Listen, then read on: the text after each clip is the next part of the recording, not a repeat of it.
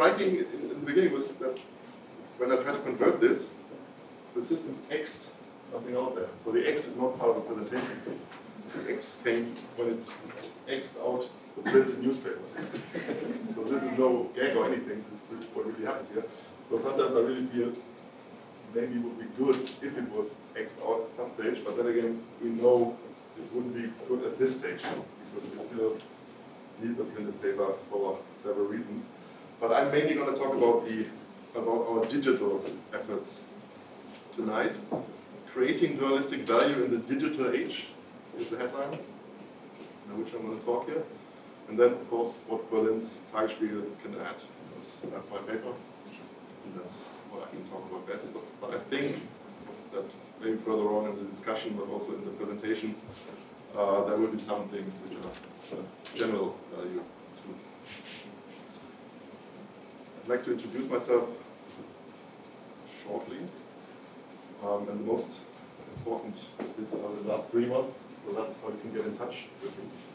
Because I always use occasions like this to establish contacts, to establish a further discussion. So it's not just me saying that. When Germans say that, they, they really mean it. So if you really get in touch with me, you can get uh, contact, you can ask me further questions. If we don't come to certain things you would like to ask tonight in the discussion, you can contact me on Facebook or on Twitter. Um, so, but I, I, think we have a we put this all on the net, don't we? So, so you're gonna you're gonna find it later on. All right. So, just a few words by way of uh, introduction. Before I became the online editor, so I wasn't always the oldest online editor. I became the online editor six years ago. So you can see six years is already quite old in this business. Um, there's, a, there's a lot of changes there. And before I uh, became the online editor of Tagesspiegel, I worked in the same place. I worked in Tagesspiegel for like 20, more than, uh, about 20 years now. I started out as, a, as an intern there.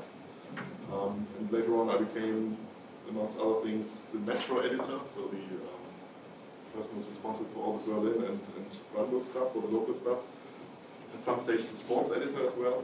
That was during the World Cup 2006, so that was a lot of fun. Really great job to do that. And for two years, I also had the pleasure to be the London correspondent of the And that was really those. That was the time when that was in 2007, 2008, and that was really the time when I got really hooked up, hooked on um, digital journalism, because I really found out that uh, British newspapers are much more advanced than we were at that stage. And I think it's the same today. If you look at the Guardian, particularly the Guardian fascinated me then. Um, when I, when I really learned that a lot of the cliches that we have in about, still some, even, even colleagues have those cliches about uh, online journalism, has to be short, has to be superficial, it's, all bullshit. And, and, the Guardian had that already in 2007, 2008. What they did was they, they enabled people to write long text. You can even, you could from here already, like, long text, you know, background. That's what we do online. So it's not about superficiality, it's not about uh, short stuff it's, it's in, in, my view, it's, it's the opposite, and that's where we, that, I think that's where we're heading as well.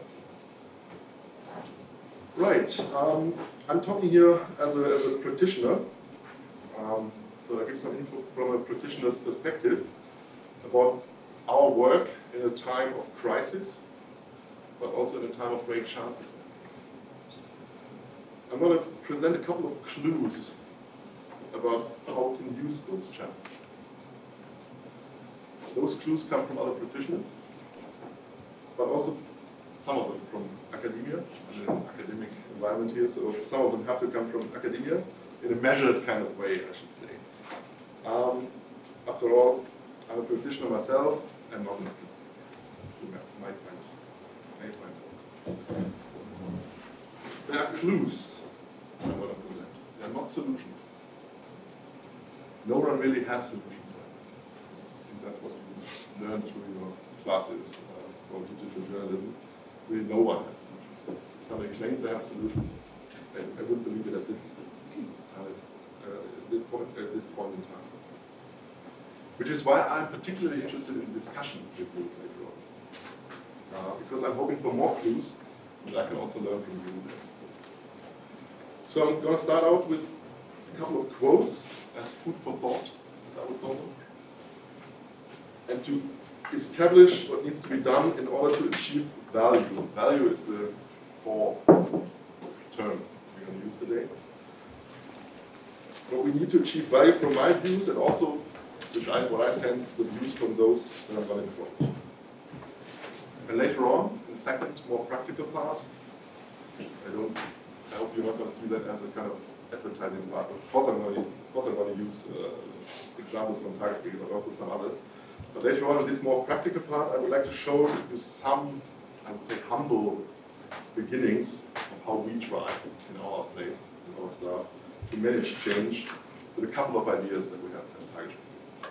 Recently, we have some more ideas. So it's a good point in time to, to do a talk. Right, every good talk, talk in an academic setting starts out with a definition. And I found one that fits my course here very well. It's by George Brock, who's a journalism professor in London. And it goes like this. I would define journalism as a systemic, independent attempt to establish the truth of events and issues that matter to society in a timely way. And it's from a book called, well, cleverly called Out of Print, of course has a different meanings. Newspapers, journalism, and the business of news in the digital age, which I can recommend to you. Um, don't expect any solutions there either, but it's a really good overview. It's a historical overview of change in journalism. It points out that change has always been, has been a constant in journalism, so it's not something that only happened lately. And it also goes into much detail of, of what, what happens now. So I can really recommend that book. And the definition goes a bit further. It has a kind of a sub-definition Verification, this is what we're going to do. This is what we need to do. Verification, sense-making, witness, and investigation. Those are, those are the four most important things that Brock But it turns out, if we look at those four, they are quite normative. They're not just definitions of something, but they have a, have a normative touch to it. And when we look at it seriously, I think we have to realize that a lot of what we are doing in journalism now has not much to do with this. It has more to do with what we see on the next slide. A lot of see today. This is a Google, Google News slide you see here. And if we look at that, and you all know Tatort, don't you? Maybe some of the international people don't.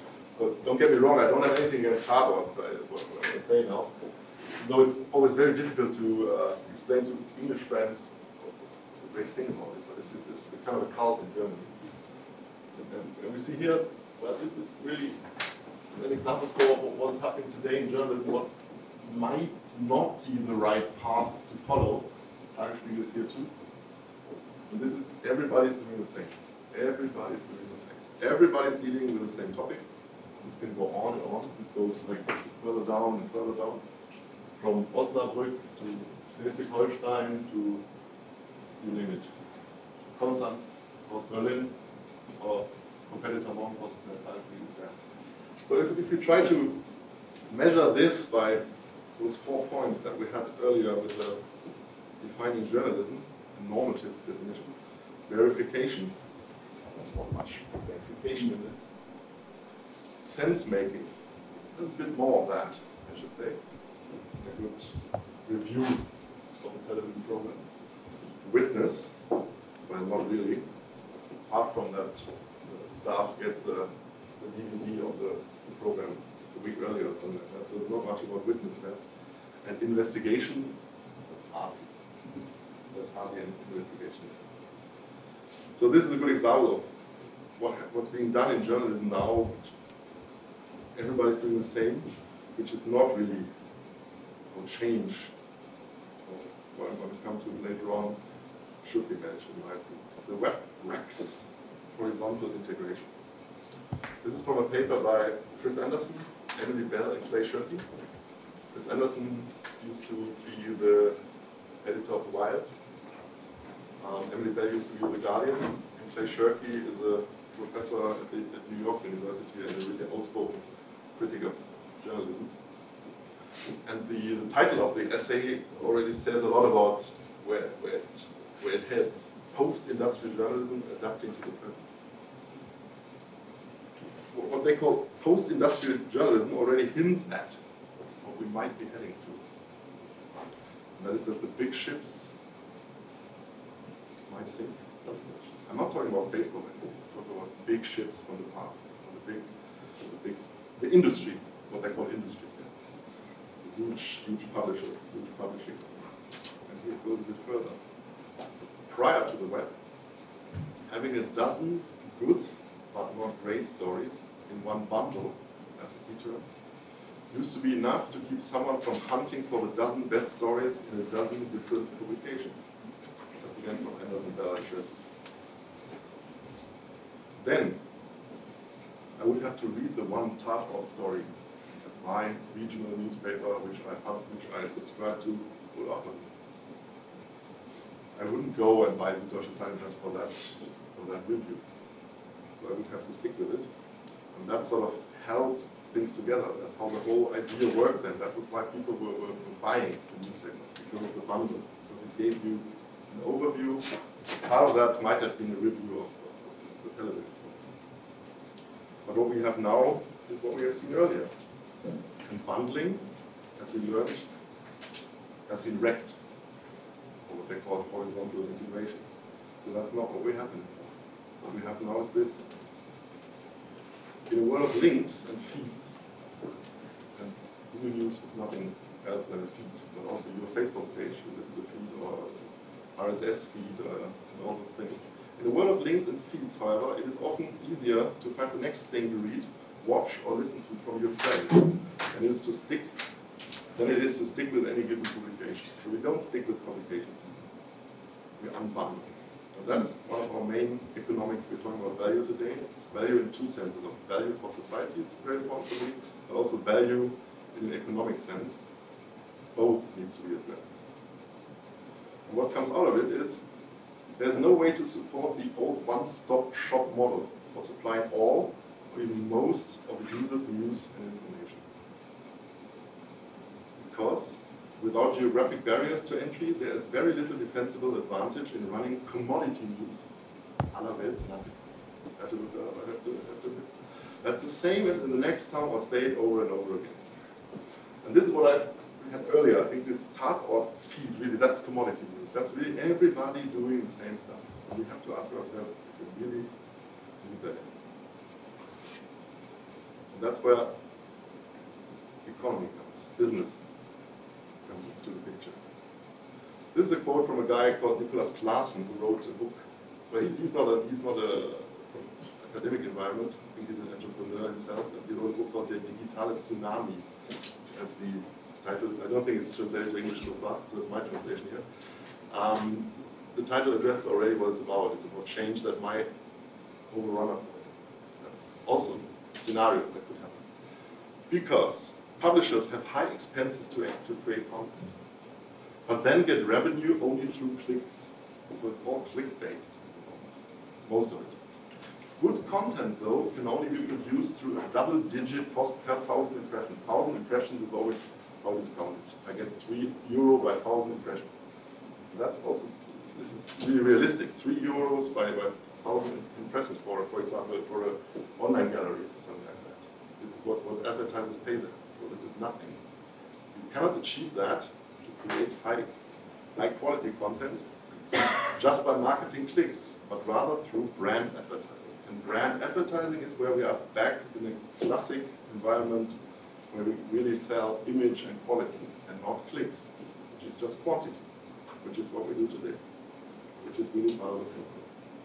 Here it becomes even a bit more philosophical. I like this quote a lot because it's by a guy, Chartbeat. That's a company who measures, a company which measures clicks not just clicks, they try to develop further and they measure other things as well, which we come to later on. And this guy, who lives by measuring clicks, says the click flooded the web with spam, link bait, painful design, and tricks that treated users like lab rats. So this is really outspoken. this is really how we are treated in some places on the net. And I have to admit, we're also treated like that at factory. So it's, it's really, that's, that's where we are at the moment. That's where we have to get away. Evan Williams, Twitter founder, and lately involved with Medium, which is a blogging page. Um, systematic blogging page where you can put your own blog out. And it's a, it's a bit like a social media. A culture whose measure of success is not something that brings value to other people, is likely to drive self-serving and manipu manipu manipulative behavior. Self-serving is something that is very evident in what's happening. I don't think anybody really looks who's that audience that is clicking on your page. For example, it's, it's a very cool example. If you, if you put a, piece on which, you, which deals with migration, you would have a very high click rate for this piece. But where would it come from? It would come from really disgusting right populist sites like Kopp Verlag and other like PE News and, and other, which give you a high range for these pieces, but they are not at all quality, quality audience. It's not an audience you the market, it's not an audience you want for your, for your publicist values, it's, it's not an audience you, you want at all, but it counts as much as any other audience. So that's an example where, which shows that we are really in a just quantitative environment. We need to get into a qualitative, qualitative environment. That's hope. There's hope. Earlier on I said there's no one who has solutions, but there's one guy who always has solutions in German, that's Thomas Knüwer. I don't know if you ever heard of him. Thomas Knüwer is a very outspoken media critic. He used to be a colleague at, at Handelsblatt. Um, now he really makes his sort of profile by criticizing journalists, which is very good, because we need that. We criticize people all the time, so we also need some people like him or, or Stefan Niggemeier, uh, others who, who criticize us. And he has spotted something, found something which I found very interesting, so I used this tweet here. It's in half in German, so I have to translate it. Um, you read about the future of publishers on the internet here. And what does he quote there? He quotes Ev Williams, the guy who we had earlier. He's the Twitter founder and uh, founder of Medium. And he has this really great statement, which is also forms the headline here. Medium has never done an ad deal based on impressions. So that's a great statement. That's not, not something we could say. Impressions are clicks, nothing else. Impressions is page impressions, that's the main, still, still the main measure how advertising is, advertising is uh, done on the net, and that is how revenue comes in. The main revenue at the moment comes in on the net. Attention is an increasingly popular word among publishers and advertisers. It's a finite resource perhaps the only finite resource, the digital infinity where content is churned out constantly. To capture and hold someone's attention is becoming simultaneously more important and more difficult than ever. Yet, most digital advertising campaigns are bought and sold on impressions. So even in the States, it's not that we are back here in Germany or anything, which we are many digital things, but here we have a statement from the States the number of people who screens load a page with the ad, regardless of time spent on the ad, or if people even notice it. Or I may want to add which people actually are on the other end you see. There have been rumblings about charging advertisers based on the amount of time spent viewing an ad online. A few publishers, most notably the Financial Times, have tested it, but the practice is far from widespread. So there's not much effort put into this. That would be a first step say attention is a new measure. The time I spend on a page, not clicking around, clickbaiting, uh, all that. So that would be a step towards quality. But since all, all the publishers and, and, and, journalists are in a kind of hamster wheel, that there is a crisis and, and there's lack of money, lack of funds, they don't really dare to change things like that. Because the, the, the model that they have at the moment, it, it works well, there's, there's still some, some there's more revenue, there's a bit more revenue, but they sense that the revenue will not be enough to run a, an industrial, uh, what used to be a, old Google publishing house, but still we go on and on and on like this. So what we need is a, is a turn. And there's even more hope. This is what Ben Thompson says. He's a guy who runs a blog called Stratechery, and he claims, and that is why, why I shows that here. He insists that he can support himself fully in what he's doing with his blog. And that is what more and more people achieve. And this is not by paid content. This is by advertising. And this is by a certain kind of advertising which is more into quality than, than quantity. But it's a tech blog, so it's a bit easier than what we are doing. We are not doing tech uh, journalism. We are doing sort of yeah, commodity, what we said earlier. Um, so what we need is, might want to need, and I come to that later on, might need more specialization, like guys uh, like, like Ben Thompson. The thing about internet scale is what he says, it doesn't just have to mean you strive to serve the most possible people at the lowest possible price. Individuals and focused publications or companies can go the other way and charge relatively high prices, but with far better products or services than were previously possible. And it doesn't mean pay content. It's not what he's talking. He's talking about advertising.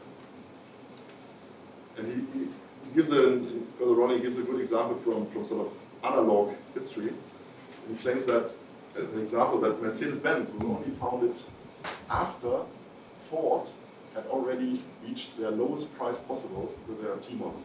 So that was the moment when Mercedes-Benz came to. So that's something that gives hope. You know, what we need is a sort of Mercedes-Benz of, of online journalism um, in order to, to get higher, higher revenue and then invest and then develop online journalism. So what would be the consequence of all this? Of realizing that there's no future in commodity content, other bits, in clickbaiting content because of advertising by clicks. In order to create value for our readers as well as for our advertising customers, we have to ask ourselves one all-important question, and that is, what can we add? How can we get out of this, out of this rat race of? How can we use our resources not for more of the same, not for writing the hundred and umpteenth type or whatever review. That's only an example. There's a lot of others. Football. Why does everybody has to write about every single Bundesliga match, every single newspaper? I'm a football fan. I like it. You, you have to ask that question. Why, why is that? Why do we put resources into that? So more of the same what everybody does. That's not where we're heading.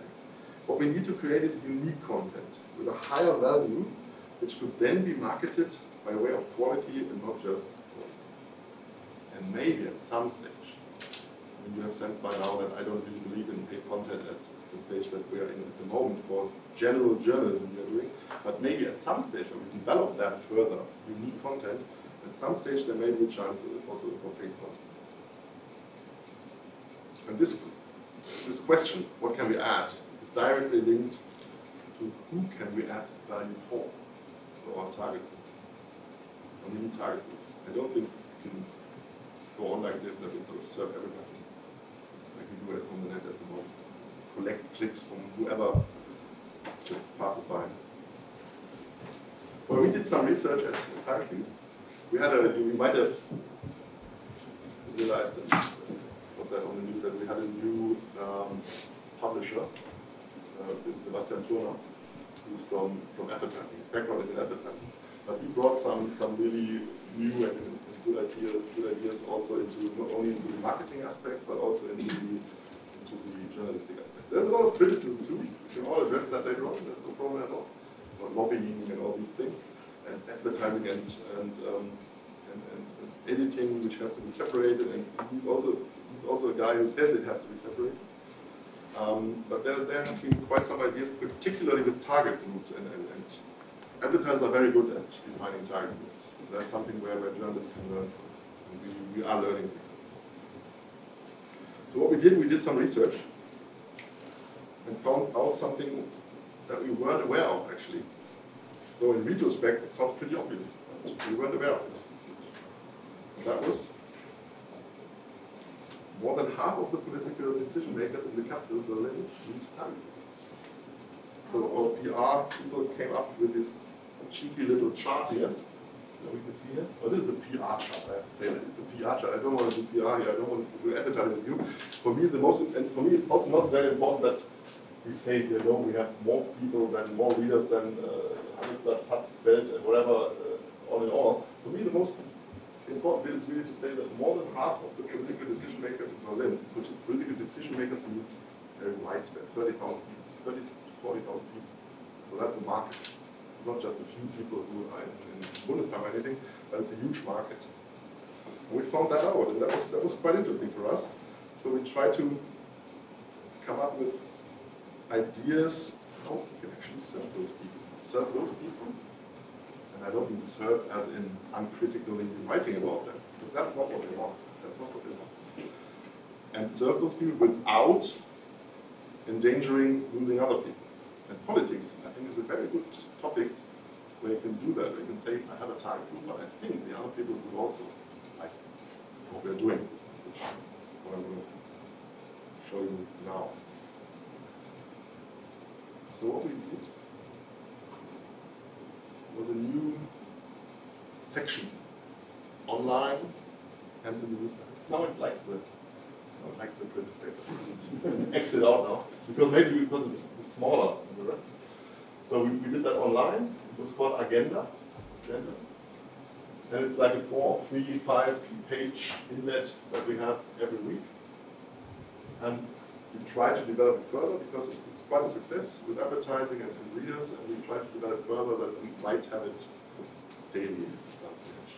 So we have this definition of a target group and try to tailor something for the target group, hoping, thinking that others would also like it. So it's a kind of journal for politics in the capital. It explains politics. That's what it tries to do. It tries to create transparency. It records work in parliament and in the political Berlin. So a bit of name dropping helps as well there. If people find their names in there, it helps. But also, it's a, it's a record of their work. So it's also, there's always a critical perspective to it. And I think this comes very close to those four things that we had earlier. That was verification, sense-making, witness, and investigation. Why can we do this here? Because it's just on our doorstep. We don't need to travel, we don't have travel expenses or anything. We don't, don't need huge technology or anything, we just walk there, we can research there, we can pick up the telephone, which is very important still for journalism. It's not only the net that we research in. And this is really on our doorstep. It's, it's a great, great gift for us that, that, we are that we are in the capital with our whole staff. Others have to send staff here. We are here with our whole staff. So why not make more of it? That was one of the products. As a journalist, I don't really like the word product, but I don't have a, a better one. Content is also not a very nice word. Another thing is the newsletter that we started then. And here, here we have this 35,000. 35,000 people get this every morning. It's a kind of a morning briefing that you can get on your smartphone. It's called Morgenlage, which is uh, like what, what Chancellor Merkel said every morning. It's a Morgenlage. And it's not just any other newsletter. The idea behind it is really to, to give people uh, in five minutes, ten minutes reading an overview of the entire political aspects of the day. What's really coming important in politics. There's also an economic uh, economics of it, um, and it's not like other newsletters. It, it's not an advertising instrument. It's not links to Tagesspiegel. Tagesspiegel links are in there. Some. I can show this here. Um, but there are also links to all the other other papers. It's a bit. It's modeled a bit on. I don't know if, if you've seen that by Peter Turi, who's a, who's a media uh, branch guy who. Uh, had the idea of coming up with such a newsletter. We adopted it, let me say, for the politics market.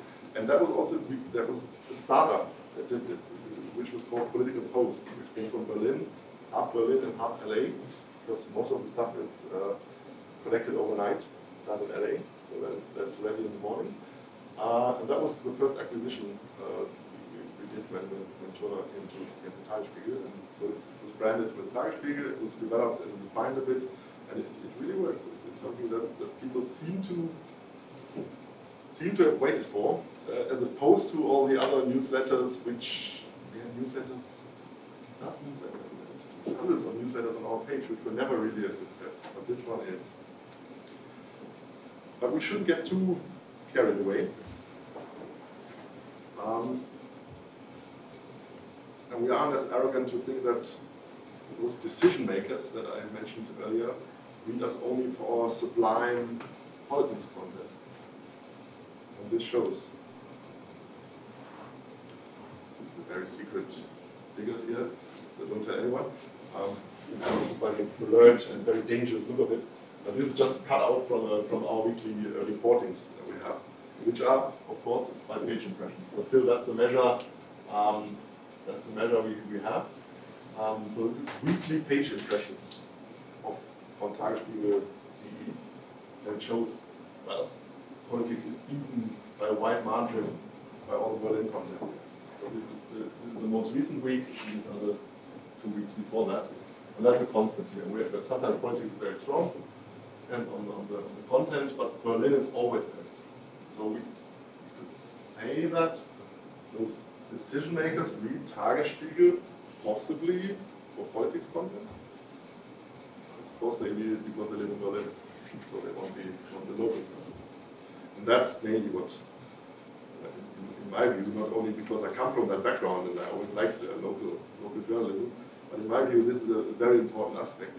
Not to subscribe to Süddeutsche Zeitung, which is very good paper, very, very good paper, but to Tagesspiegel because you live in Berlin, and to go to Tagesspiegel uh, online because you live in Berlin and you read, read that stuff there. So what we have here is, is a great advantage, and that advantage is Berlin. There's another interesting thing there. On, on Tagesspiegel Online, we, we are read like 80% from, from, from the national audience.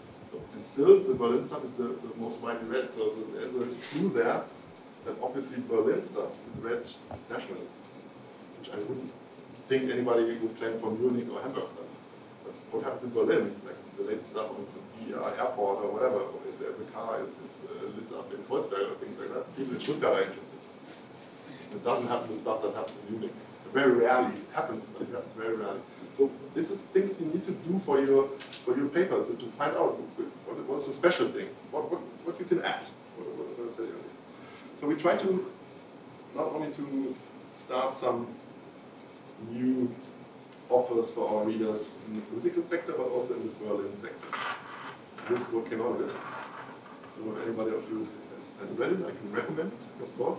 It's by my friend and uh, our, our editor-in-chief, Lorenz Maroldt. And he does a very, very personal newsletter every, well, every night, really, every night. Um, there's, there's stuff, you know, there's exclusive stuff in there that you can read. There's, he's around for, for 25 years in Berlin, he knows the city, so he can really compile this. And it's the same uh, principle than the other thing earlier on. It's, it's not just advertising targeting links, there's links to the, the competitors, there's, there's no link at some stage. Uh, so this is not, not an advertising effort, it's a journalistic, it's really a journalistic effort, fitting the four points in the definition earlier on. So it's, it's a mixture every day of, of political news and of comment, very sort of hard-hitting comment now and then. People are hurt at some stage as well. All time now, in the few weeks that we are doing this now. And service, which is very important. And another thing that we just started this week, or last week, another, and that's uh, our live ticker, which is sort of dealing with Berlin news in the morning. This is not a complete, it's not a new idea. Everybody's doing live tickers those, these days. Berliner Zeitung has one in the morning as well, our competitor. But they didn't dare, for some reason, didn't dare to make the step uh, focusing on Berlin. They're doing something which is sort of, again, more, more, more of the same, uh, combining everything, news from all over the world. And really, really, really focus on Berlin. That's also not new. BZ, the uh, Yellow Press paper, um, does the same. They even do it 24 hours by now. So journalistic jobs are approaching uh, 24 hours availability, but they're doing mostly crime and uh, traffic stuff. So we try to do, as you can see here, we try to be more political there. So that, that was another idea. And maybe finally, what we also started, not only to be local, but we try to be hyper-local. That's one of the really hype words of the moment. Um, hyper-local meaning in a city like Berlin, if you're hyper-local in Berlin, then you're local in, in Saarbrücken, whatever, you know, because place like Neukölln or, uh, or Zehlendorf is as big as, uh, as places like Kiel or, or Saarbrücken or, or, Wiesbaden. So it's, hyperlocal is, well, it's not really true yet. So we try something more hyperlocal, which I will say later on. So we started those blogs, we call them blogs in the beginning. We're not very happy with this, looking for other words. Um, adding value to local reporting. Bringing back what our newspaper had to abandon. Because we used to have this in the printed newspaper. Maybe not as much as we can do online now, but we had pages for this in the printed paper. We had 12, 14, 16 Berlin pages. Now we have 4 and 6. So all this doesn't happen in the printed paper anymore, but it happens here. It's difficult to market because, of course, these things don't have wide range. They don't have clicks, clicks, clicks. So we have to find out ways to market them in a different way, in a qualitative way. And this is only starting now. So we have Zehlendorf or Kreuzberg or Pankow, that's where we started. We try to uh, open one after the other. We also started with an even more local thing. Hyper can be, I don't know, there's more than hyper, difficult, but we started one only for Kurfürstendamm, for that Kiez. it's only for that Kiez. Of course, with the, with the view behind it that things that happen at Kurfürstendamm, which is more people than again, and of course there is a, might, might be a lot of advertising you can get out of that, but it's also very interesting. The city west is, is now developing and everybody's saying it's, it's more, more interesting in some stages than Mitte, sorry, Mitte. Um, so that's, those are the, the, the ideas that, that you have, to think about. But this is all not completely new with us. We have a very interesting benchmark here. Uh, and that's Tegernseer Stimme. Don't laugh. It's with the advertising everything, but this thing works. It works. I know the guy very well who does it. Um, they can really, they can support three full-time journalists. Right? And it's an online-only thing. They started there and they found out that Münchner Merkur, who was there, was very lackluster there. They didn't really invest in anything. So, so these guys just went there and opened that blog. It was a blog in the beginning. And now it's a, it's a full-fledged online, online newspaper, which, which is expanding all the time. And a bit closer to home, I know this one. That was the first one, sort of more ambitioned project we had in Berlin, Bergnachrichten. They celebrated everywhere, huge articles in Der Spiegel when they started everything. And what both of them have in common, um, what Tegernseer Stimme or they or our blogs have in common, well, we hope it with our blogs, they have it already. No one ever, no advertiser ever asked those guys how many clicks they have. No one ever asked it's, it's a community thing.